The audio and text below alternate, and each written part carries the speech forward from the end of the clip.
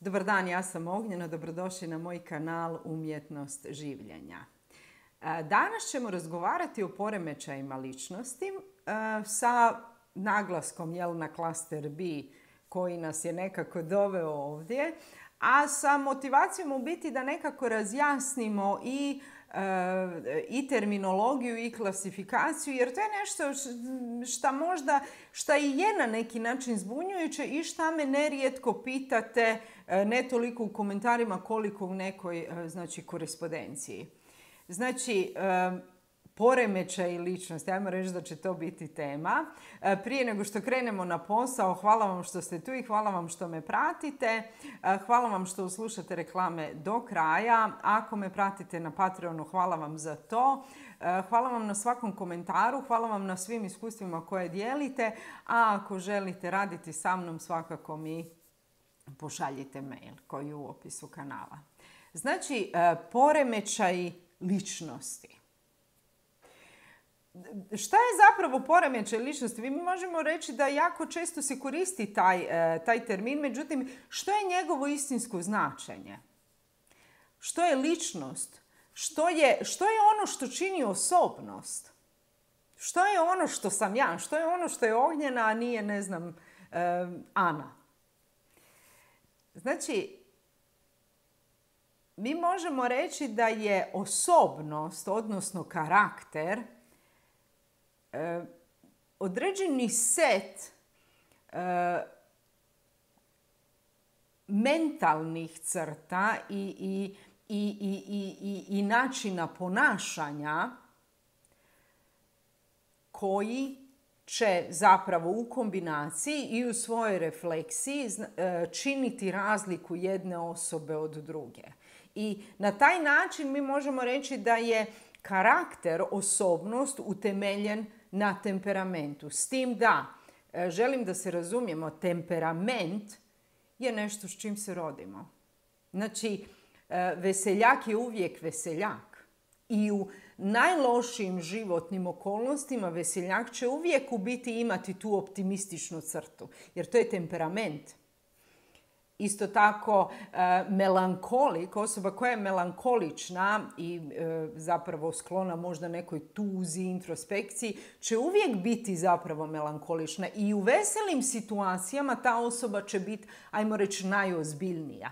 Jer je to stvar temperamenta. Međutim, karakter je nešto što gradimo, a on je, znači, i on će e, činiti našu osobnost temeljit će se na našem temperamentu, a zapravo bit će determiniran našim ponašanjem i našim, ajmo reći, mentalnim sklopom. Znači on je nekako kombinacija. Znači mi uvijek moramo uzeti u obzir kako smo rođeni i kako smo odrastali. I sve je to super dok smo mi unutar određene norme. Znači, utvrđene i prihvaćene društvene norme. Međutim, kada mi govorimo o poremećaju ličnosti, mi govorimo o poremećaju ličnosti kada ta osobnost u biti odstupa od društvene norme i tih nekih, i u biti od društvene norme i očekivanja kako bi kakva bi ta osobnost trebala biti. Znači, svako odstupanje od utvrđene norme će činiti poremećaj ličnosti. Ono što je, međutim, jako bitan detalj. Pazite, svi mi možemo imati akutna odstupanja od društvene norme. Znači, tu pričam recimo o e, epizodama intenzivne tuge koje su rezultat teških životnih događaja. To ne čini osobu, e, to ne znači da osoba ima poremećaj ličnosti, da ima, ne znam, recimo depresivni poremećaj ličnosti. To samo znači da osoba prolazi fazu tuge. Međutim, detalj koji čini razliku jest da je poremećaj ličnosti uvijek u harmoniji sa egom i sa integritetom te osobe. Šta to znači? To znači da osoba koja ima poremećaj ličnosti sebe percipira kao osobu koja je unutar društvene norme, odnosno osoba koja ne smatra da ima poremećaj ličnosti. Pojednostavljeno, u praksi vam to znači da sve dok se vi pitate jesam li ja, ne znam, narcis, niste narcis.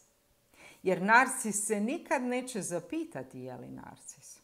Razumijete? Tako da, jer pazite, nikad govorimo o, o osobnosti. Mi ako govorimo o psihologiji, e, tu, mi, tu imamo zapravo, e, tu mi uvijek govorimo o spektrima. Mi tu nemamo egzaktne, ajmo reći, granice. Zato što osobnost je iznimno dinamična.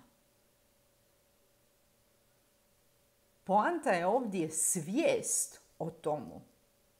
I sve dok postoji svijest, mi zapravo ne govorimo o poremećaju. I onda imamo, znači, kategorije jel, tih poremećaja, famozne klastere u odsustvu boljeg prijevoda. Želim zapravo sad samo ukratko podijeliti znači poremećaj ličnosti po klasterima jer me to nerijetko pitate, a malo je to za istraživati, ajmo reći dosadno, pa ću ja to nekako probati e, pojednostaviti. O klaster B stalno pričamo, ali imamo klaster A, to su vam paranoidni, šizotipni i šizoidni poremećaj ličnosti. Imamo klaster B, oni su vam, uvijek, to su uvijek znači dramatični. Znači, klaster A, to su uvijek poremećaj ličnosti koji se manifestiraju na neki neobičan način. Ono, mislim, najbolji, najbolji primjer tu je schizotip, jer oni su zapravo neobični. To je neki zajednički nazivnik. Klaster B, oni su dramatični. I tu imamo, znači, antisocijalni poremećaj ličnosti, e, imamo granični borderline, imamo e, e, histrione i narcise. Klaster C, tu su vam anksiozni poremećaji i tu imamo izbjegavajući ili ti avoidant poremećaj ličnosti, ovisnički i obsesivno-kompulzivni poremećaj ličnosti. I osim njih mi imamo znači neklasificirane poremećaje ličnosti i imamo depresivne poremećaje ličnosti. Znači, bipolarni i depresivni poremećaj ličnosti. E, u ostale također, znači u ostale nekako imamo tu jedan jako zbunjujući moment. U ostale poremećaje ličnosti se e, nekako se e, klasificirala i psihopatija. Međutim, mislim da, da se tu misli na psihopatiju kao opći pojam ali tu imamo posttraumatske poremećaje, pasivno-agresivne, mazohistične i, e, e, i sadistički poremećaj ličnosti. Znači, ovo je znači, neka osnovna klasifikacija. Klaster B, dramatični, e, antisocijalni, antisocijalni ili i poremećaj ličnosti, to je ono što se, znači nekada su postojale političko nekorektna klasifikacija pa se govorilo da se tu nalaze sociopati i psihopati. E, to je terminologija koja se sve više napušta jer se smatra na neki način neprihvatljivom. Postoji razlike između ova dva, o tome ćemo pričati.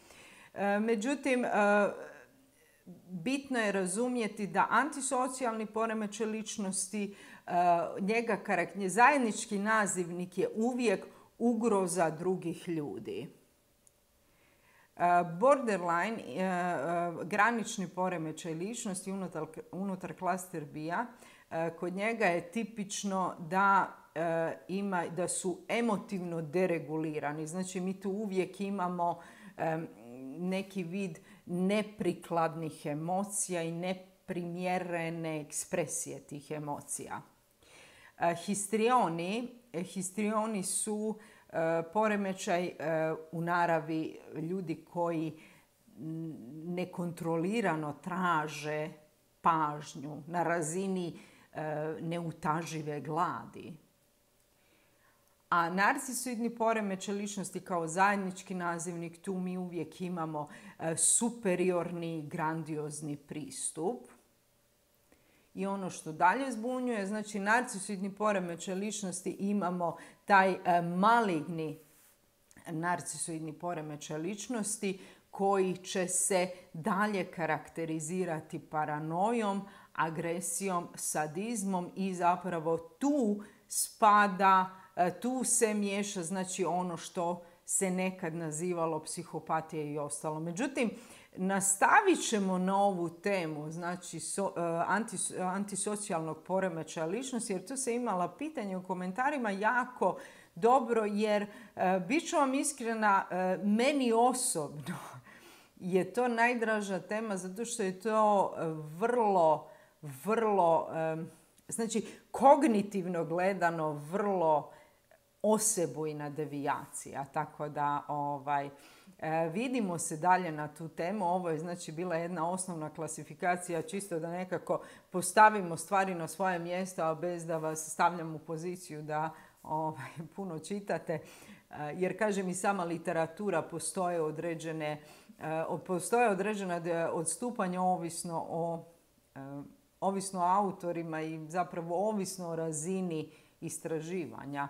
Međutim, ono, osnovne smjernice su tu, ono, budimo jednostavni, držimo se jednostavnosti. Evo, nadam se da vas nisam malo zapilala, što se kaže u Dalmaciji, da vas nisam zagnjavila. E, hvala vam na ovom razgovoru, hvala vam što me pratite. Hvala vam što slušate reklame. Ako imate pitanja, komentara, ostavite u komentarima, a ako želite raditi sa mnom, svakako mi pošaljite mail. Čujemo se. Ćao!